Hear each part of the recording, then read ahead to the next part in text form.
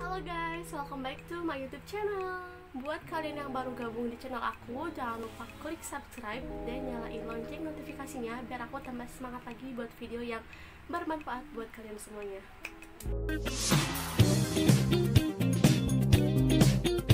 Dan di video kali ini aku mau nge-review skincare dari Bioti yang Glow Whitening. Ini aku udah pakai hampir 4 bulan. Sebenarnya aku tuh mau review di di satu bulan pertama aku pakai tapi tapi ternyata uh, satu bulan pertama aku pakai itu bekas jerawat aku yang sebelumnya itu belum hilang. Dan di bulan kedua itu belum ada perubahan yang signifikan.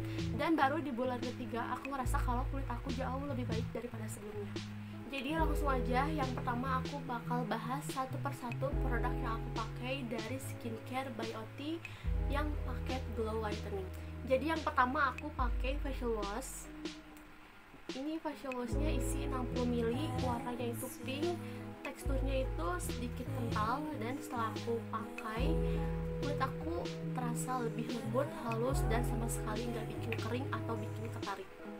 Dan selanjutnya di sini aku pakai toner for normal skin. Ini isinya 60 ml ini tuh teksturnya cair kayak air biasa dan warnanya itu kuning dan setelah aku pakai di wajah kulit aku jadi langsung glowing dan dia itu pas aku pakai di wajah kulit aku langsung terasa dingin gitu loh guys. Jadi emang kayak hand sanitizer sih.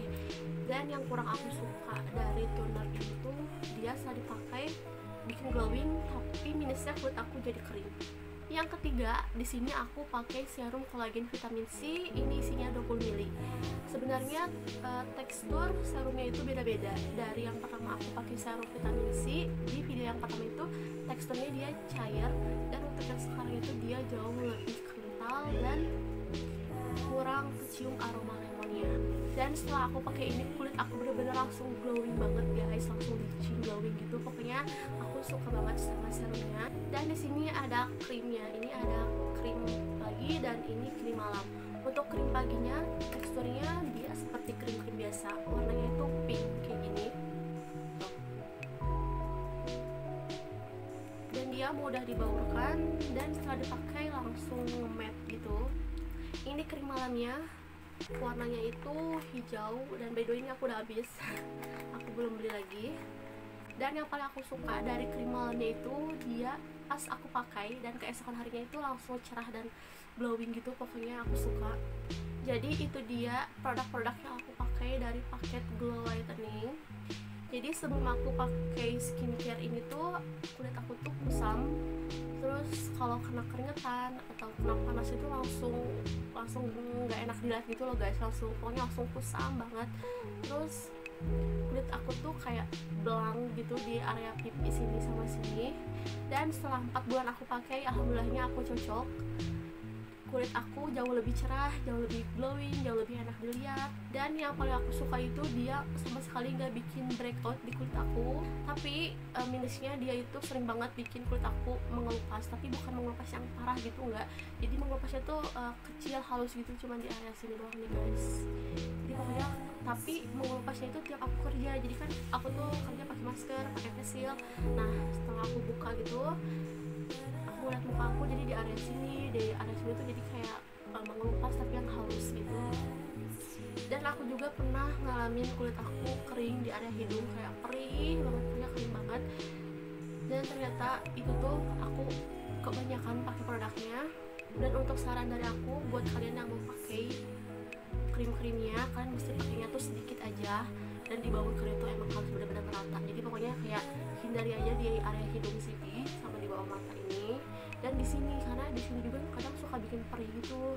Kalau kalian pakainya tuh kebanyakan dan digosoknya tuh kayak kenceng gitu.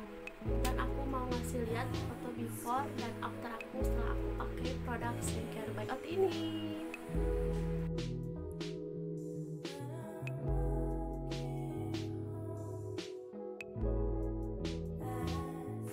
jadi kesimpulannya setelah aku pakai skincare by Oti yang paket glow whitening selama 4 bulan aku merasa kulit aku jauh lebih cerah jauh lebih glowing jauh lebih enak dipandang lebih enak dilihat gitu untuk untuk diri aku sendiri ya karena aku yang merasakannya.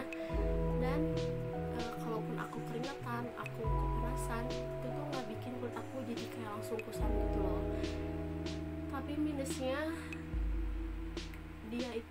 sering banget bikin mengelupas tapi yang halus gitu. Jadi jangan takut yang mengelupas yang parah sampai kalian nggak bisa uh, beraktivitas atau sampai kalian nggak bisa uh, pakai make up atau apa pun.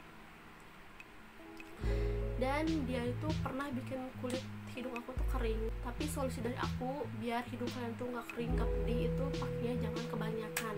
So jadi sekian review dari aku. Semoga bermanfaat buat kalian semuanya. Thank you for watching. Bye bye